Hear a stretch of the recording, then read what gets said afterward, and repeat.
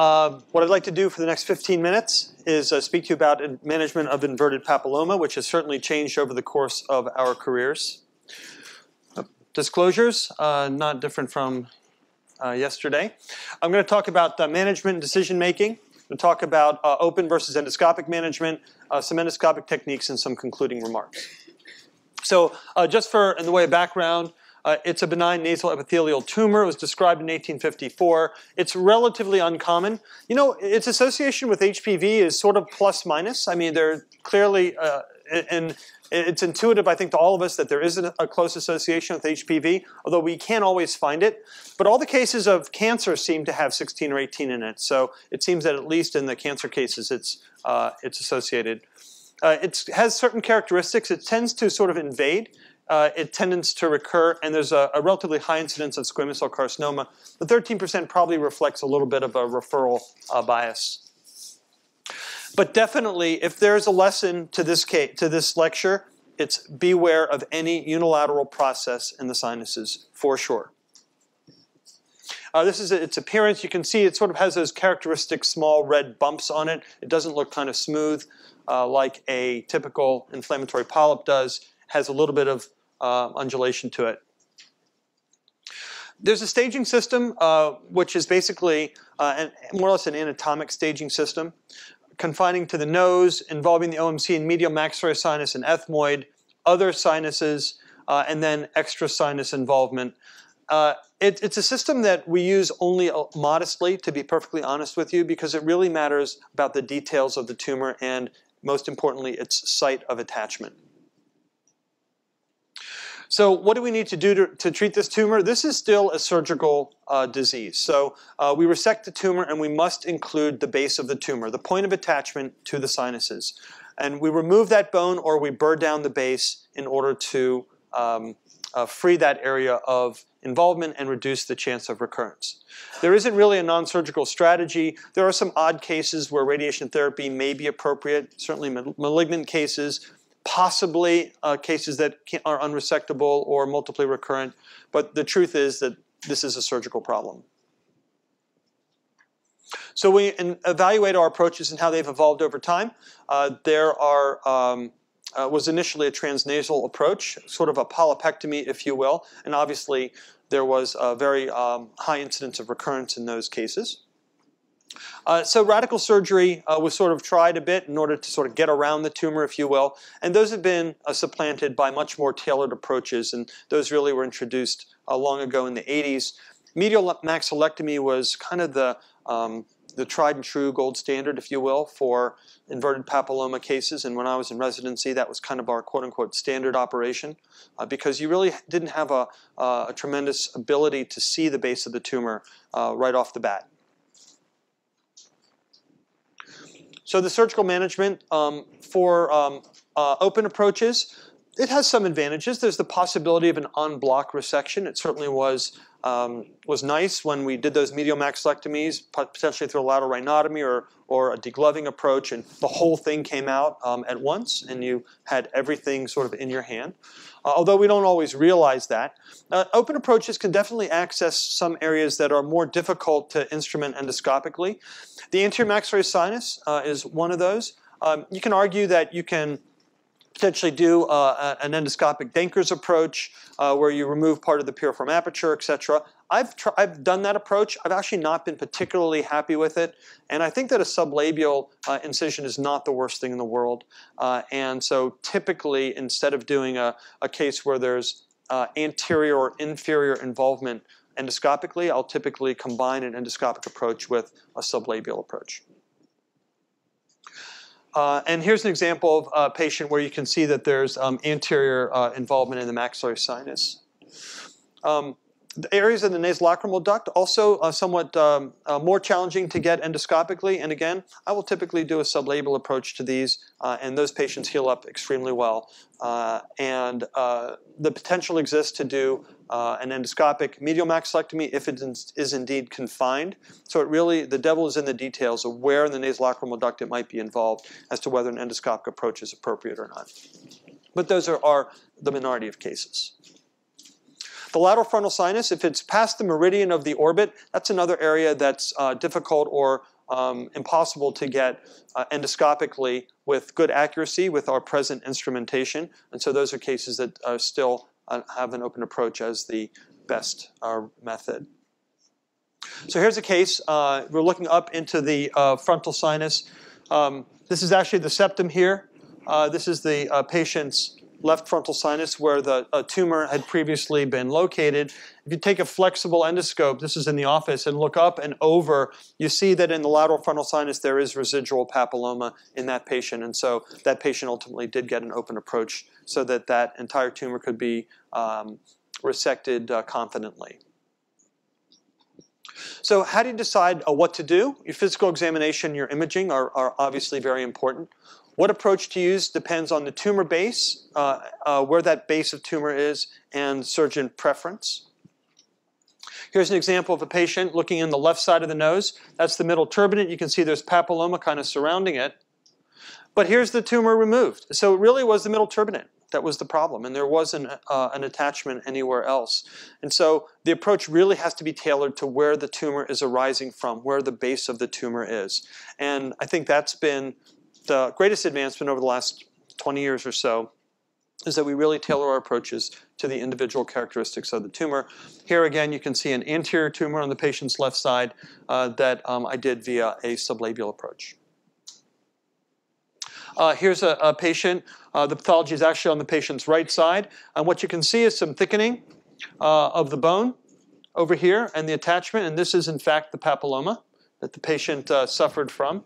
Uh, and um, that resection happened um, endoscopically. And I'll show that in a moment. But it, you, have to, you have to be self-critical and look at what the results of open versus endoscopic are. And in this sort of early review of these patients, with a pretty good follow-up, five-year follow-up is, is, um, uh, is excellent follow-up for patients with this disease. Uh, the recurrence rate with endoscopic was 12. The open was about 18. Obviously, that is not uh, uh, that's not a randomized prospective study, so there could be some uh, bias that's represented in that. The harder cases you do open, quote unquote, and the easier cases you do endoscopically. So uh, that's not the be all and end all, but definitely um, moves us in one direction. Uh, and maxillary and lateral frontal recess required a sublabial approach. This is an incredibly important fact. So what happens to patients with recurrence? Well, in these case, cases, Roy Casiano had these 51 cases reviewed.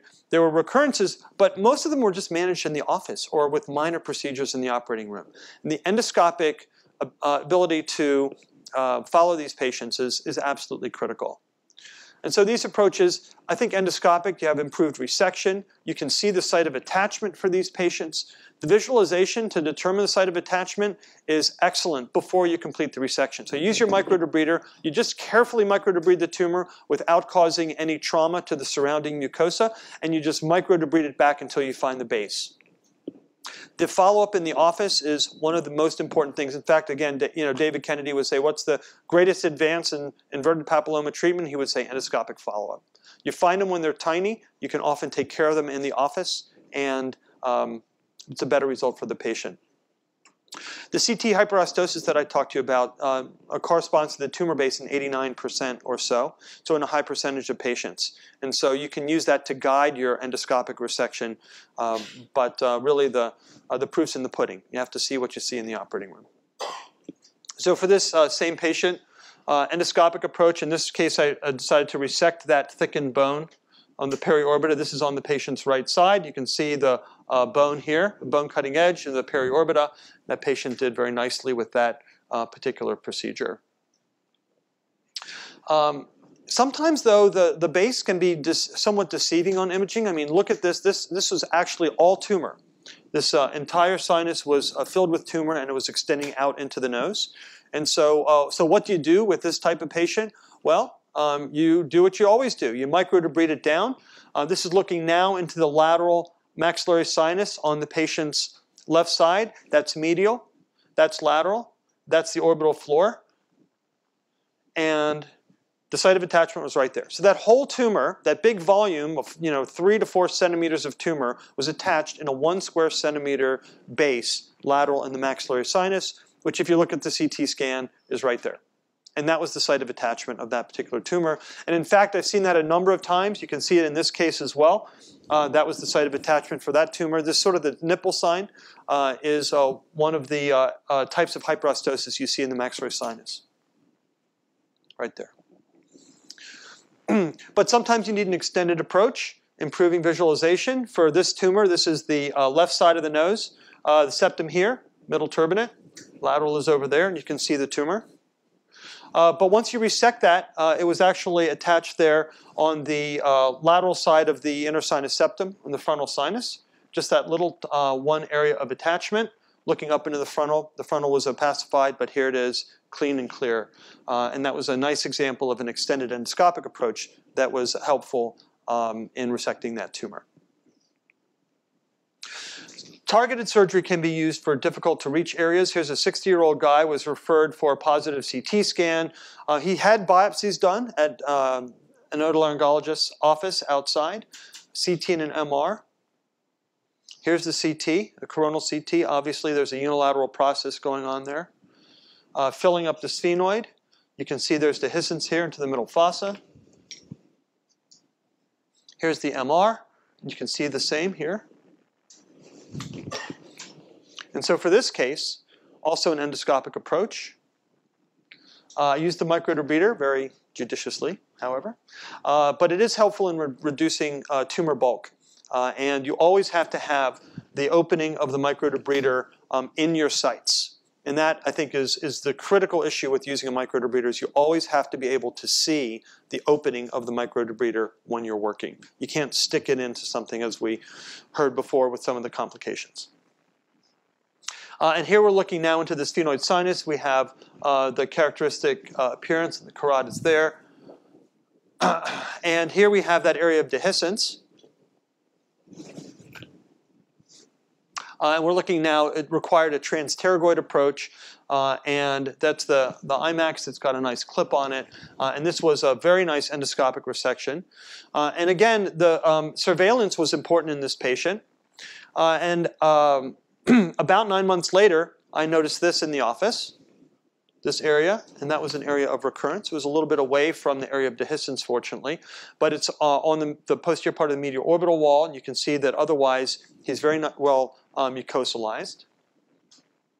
Um, everything else looks really nice, and so I, I you know, he was uh, from uh, Nevada, and he had come a long way, and I was like, you know, I think we can take care of this right now. So I just had him wait till the end of the clinic, injected that, used a Cottle, made a little incision, um, elevated that area, um, just used some silver nitrate on the back of that, and um, uh, and that was the end of that problem for him. So this is an, an, example where the endoscopic surveillance allowed me to find a tumor that was very small that I could handle right there in the office, even though it was previously a very extensive uh, kind of nasty looking tumor, uh, but there it was all handled.